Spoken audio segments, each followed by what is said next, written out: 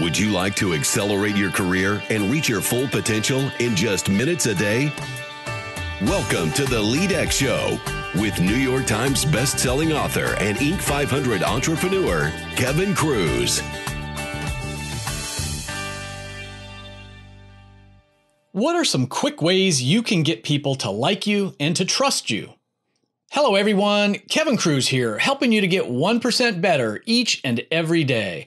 Today, we're going to learn how to improve our people skills. But first, I want to encourage you to visit leadx.org. Sign up for our newsletter packed with actionable tips that you can try out right away to fulfill your potential. leadx.org. Our guest today is the founder and CEO of Likeable Local, a social media software company, and co founder of Likeable Media, a word of mouth marketing agency. He's an international keynote speaker, New York Times best-selling author of three books, including The Art of People. You may have already seen him on CNBC, ABC World News Tonight, or the CBS Early Show. Our guest is Dave Kerpen.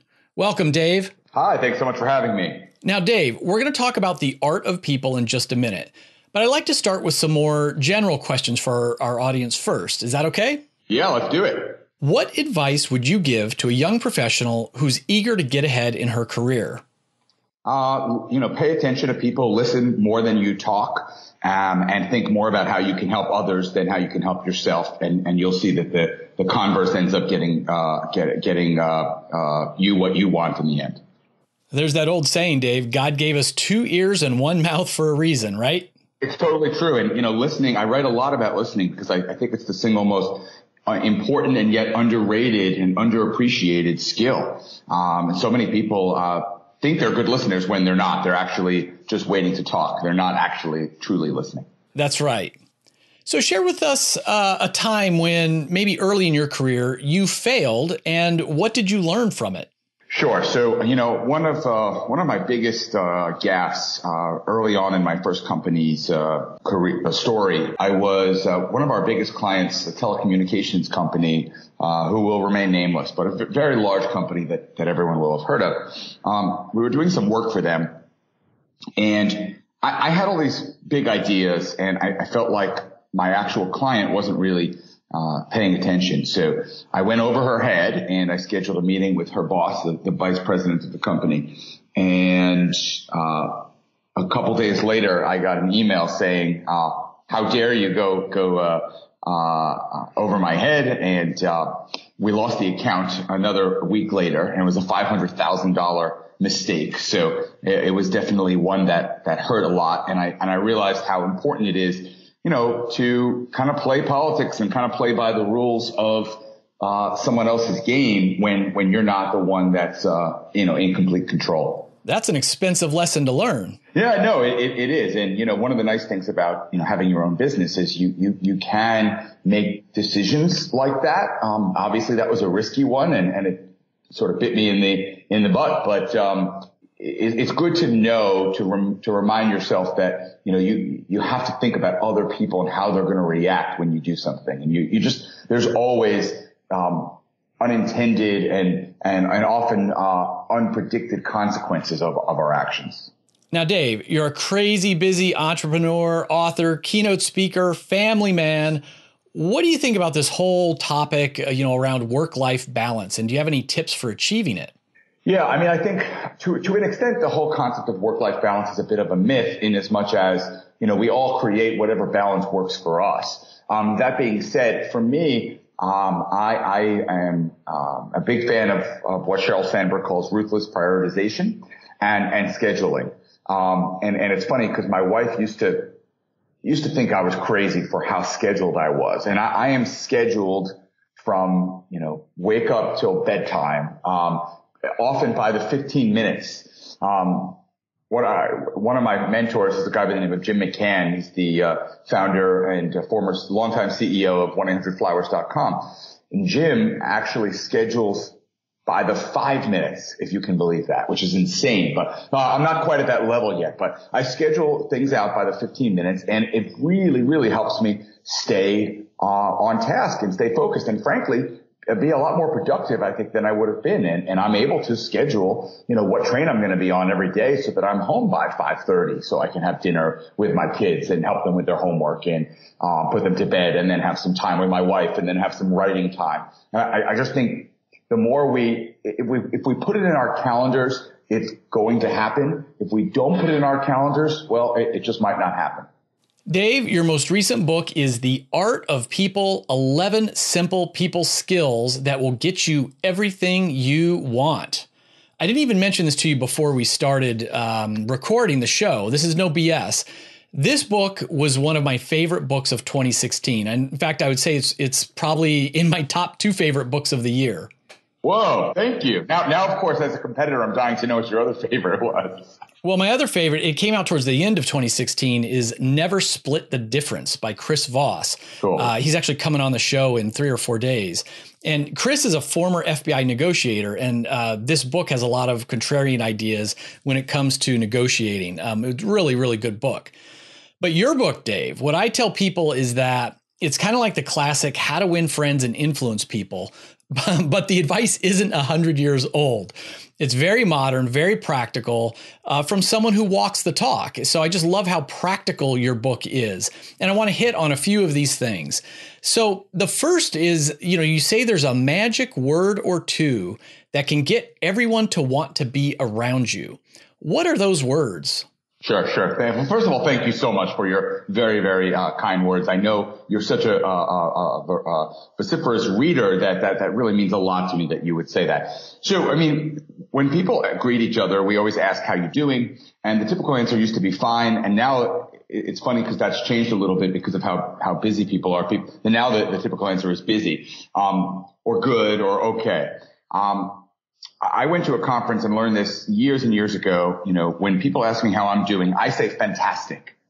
Because you know what? At the end of the day, I am fantastic, right? I mean, why, why not be fantastic? And it, it absolutely gets people's attention every single time. And they're like, oh, wow, I want to hang out with you. What are, what are you on? What, what's going on with you? Why are things so awesome? Um, and then the other word that I talk about is more in the sense of uh, when I am addressing my, my, company or giving a speech, um, the word that I love to use to get people's minds going in a positive way is the word imagine. Because we all love to think big and imagine. We all have that piece of us that's kind of like that, that childlike innocence still in us. And when we hear the word imagine, it sets that off. And, it, and no matter how jaded or cynical you are, and I'm, I'm a New Yorker, so I know lots of very jaded, cynical people, right? When, when, when you hear the word imagine, um, it, it kind of opens things up a little bit for people. I can't help but dive in and just support this, Dave. You know, that word fantastic. I always tell people emotions are contagious. You know, we spread our emotions like we're spreading the flu if you walk around all hangdog, you know, saying, "Oh, I'm crazy busy, crazy busy," you know, that sets off a certain negative vibe. Yep. When you answer fantastic, all of a sudden you're boosting everyone uh, around you. They want more of it. And I love that word imagine. I think it's one of the most powerful uh, words in persuasion psychology. And anyone who looks at my own marketing copy, you know, for my books or my online courses, they're going to see I use that word a lot. I'll say, imagine if you could get an extra hour a day of free time or you know imagine if your team thought you were the best boss they ever had. You know whatever it is that word imagine is a magical word. It, it really is and, and i can't agree with you enough. I, I, I, like to say enthusiasm is contagious and so is lack of enthusiasm and so i, I, I agree with you you know uh, totally. And there's some interesting things in the book. I, don't know if you're going to ask about them but i'll i'll just say that that when you're not naturally in a fantastic mood um, I, I, and, and you need to be a leader or you need to be persuasive. Um, I think you need to figure out a way to get yourself into that, that fantastic mood.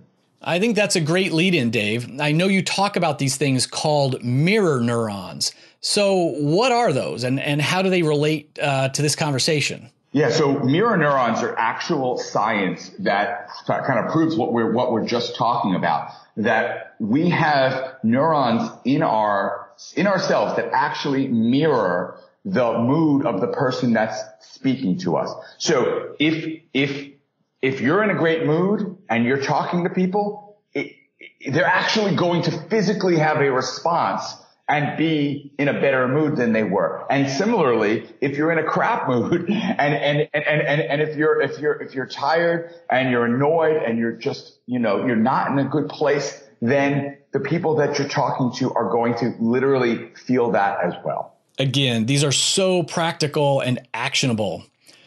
You say that when you first meet someone, there's one question that's the most important one to ask them.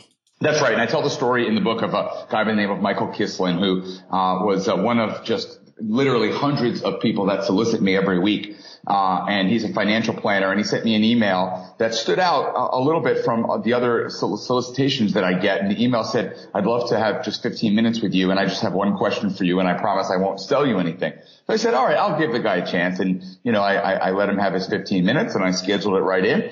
And, um, you know, he actually came to my office and, and, and he said, you know, my one question is, is how can I help you? And I said, what do you mean? Like, uh, what can you sell me? I said, he said, no, no, no. Like, how can I help you? Like, maybe I can make an introduction to you or, uh, introduction for you or, or make a reference or, or, or help you out in some, some way or, or another. And I said, all right, cool. I'll give you a shot here. I'm, uh, I'm raising money for my latest uh, software company here. And, uh, if you know any venture capitalists, I'd love an intro. And he made, he made a couple intros for me, which was so kind. Um, and, and then he, and then I said, well, so while you're here, you might as well tell me about what you do and see if there's a fit. And he said, no, absolutely. I promised I, I, I, uh, I wouldn't sell you. So that's, that's just not going to happen. And I was amazed by the, the, the fact that he truly stuck to that, um, that, that single mindedness with regard to how he could help me. So of course, several months later, uh, I had an opportunity. I needed some help with financial planning uh, which, and, uh, I don't even, sorry, but I didn't mention that he was a financial planner. And, um, and so I called him up and uh, he ended up be, becoming my financial planner. And then I recommended him to several others. And, you know, he's made a lot of money off of me, not because he sold me, but because he truly was, was selfless and, and, and out to help me. And if you can ask, by the way, like so many things, you have to be sincere about it. You have to be authentic about it. You can't just sort of take this as a, as a, as a trick and then, you know, go out and, and try to trick people, right? But if you can truly ask, how can you help someone, um, sincerely, then, then, then that's going to open up some great doors for you. That's a story where you gave someone 15 minutes and it turned out to be great for both of you.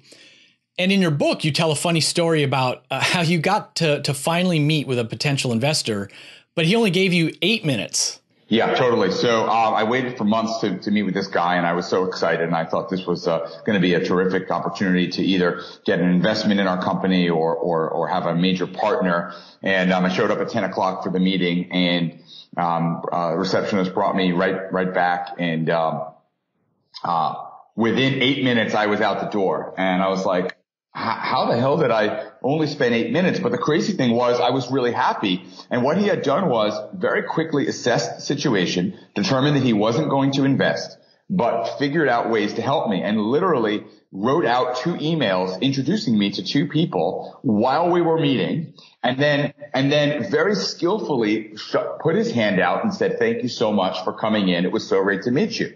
And the amazing thing was, as I was walking out, thinking, I was, I, on the one hand, I was thinking, shit, I only got eight minutes. On the other hand, I was thinking, wow, that was really valuable. And the lesson there, it was just, it was a great reminder that, that we don't have to take 30 minutes for a meeting or an hour for a meeting or 90 minutes for a meeting. We can be efficient and still be super valuable in, in helping others. And, and, and that was actually, you know, it was a wonderful lesson. By the way, one thing I didn't mention uh, earlier when you asked me, uh, when we're talking about how important it is to say, how can I help you and to, and to be valuable for others, a lot of people they they struggle with getting creative and thinking out of the box on this, and they think, well, how how can I be helpful for somebody, you know, of of great importance, of great success, et cetera? And you know, I speak all, all the time to audiences all over the world, and when I speak to college students, for instance, or, or young people, um, one of the things I say is, okay, how many people in the room are, are, are on Snapchat? And then everyone raises their hand, and I say, you know, guess what? If you were to call up right now, or email, or send a LinkedIn note um, to any Fortune 500 CEO on the planet and say, hey, I'd love 15 minutes and I don't know if this could would be helpful, but I would love to teach you how to use Snapchat and why Snapchat is so important as a communications, um, a new way of communicating. I can pretty much guarantee you that every one of those Fortune 500 CEOs could use the help. Now, whether they would take you up on the offer, I, I can't promise, but the point is we all have value to give everyone on the planet. And it's just a matter of figuring out that match. Dave, I think this is so spot on. You know, maybe not every CEO would say yes, but if you contacted 10, you'd sure get a lot. You know, I think youth is a, a superpower. It's easier to get access to CEOs, to multimillionaires, to best-selling authors when you're younger than when you're older. I mean, everybody wants to be helpful. They want to give back. That's right. Before we wrap up, Dave, I like to challenge our listeners to get 1% better every single day. Can you give them something uh, they can try out immediately? Well, let's see. I, I would say that um, you know that we, we talked about being fantastic, certainly, and and and and, and that. And what and another thing I would say is actually pay attention to your listening versus talking ratio, and see if you can listen just a little bit more than you do uh, than you do today. And once you've gotten to that that that level of feeling like you're you're listening better, you can try. Um, a couple of more advanced skills that I talk about in the book called uh, mirroring and validating, where you're essentially repeating back what you're hearing, focusing specifically on the emotion that you're hearing. And you'll find that when people, when you mirror people and validate people, it's even better than listening to them because they feel much better. They really feel and know that you're paying attention to them. Love it.